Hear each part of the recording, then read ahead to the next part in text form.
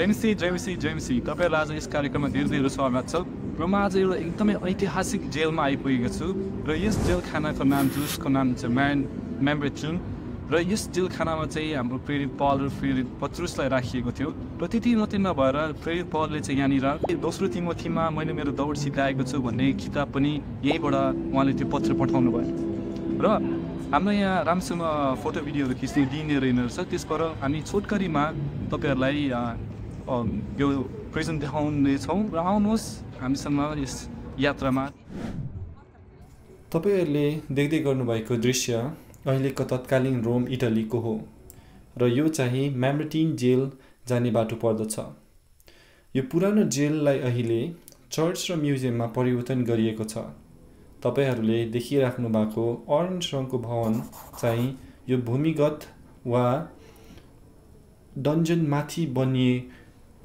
बनिएको भवन हो। म्याम्ब्रेटिन जेल सात बिसीमा बनिएको भनेर अनुमानित छ जुन चाहिँ दुई हजार एकतिस वर्ष अगाडि जस्तो हुन जाँदछ।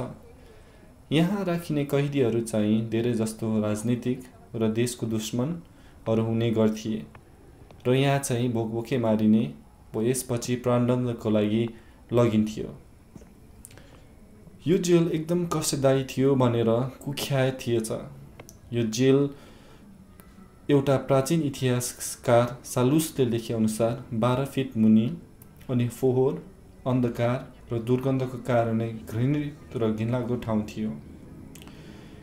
अहिले देखिराख्नु भएको यो पहिलो तल्ला हो र यहाँ चाहिँ एउटा क्याथलिक चर्च छ र त्यसकै साइडमा म्युजियम पनि सुरु हुन्छ र यो म्युजियम छिर्न चाहिँ दस युरो जस्तो लाग्छ र आउनुहोस् अब हामी तल्लो तल्लातिर लाग्नेछौँ। र यो तल्लो तल्लाको बाट चाहिँ यो मुनिको हाम्रो जेलको प्रवेशद्वारमा हामी र पहिला चाहिँ यहाँ गार्डहरू बस्ने गर्थिए र अनि केही समय अगाडिसम्म चाहिँ यहाँ क्याथलिकहरूले यहीँ सङ्गति पनि गर्ने गर्नुहुँदो रहेछ।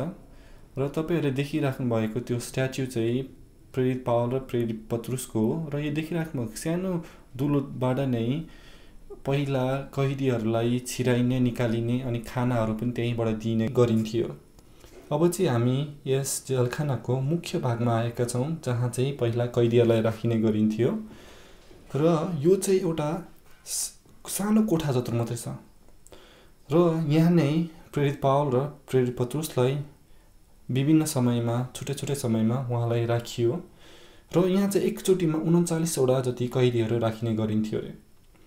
र यस पछाडि नै प्रेरित पत्रुसलाई यहाँबाट नै उदोमुन्टो झुन्ड्याएर क्रुसमा टाँगिएर उहाँलाई मारियो भने प्रेरित पावल चाहिँ एउटा रोमिक नागरिक हुनुभएको कारणले उहाँलाई त्यस्तो गर्नु नमिल्ने भएकोले उहाँलाई चाहिँ टाउको काटिएर उहाँ त्यसरी मर्नुभयो। र अहिलेसम्म हेरेर साथ दिनुभएको लागि धेरै धेरै धन्यवाद। हामी फेरि पनि भविष्यमा यस्तो कन्टेन्ट ल्याउनेछौँ। अहिलेको लागि जय मसी।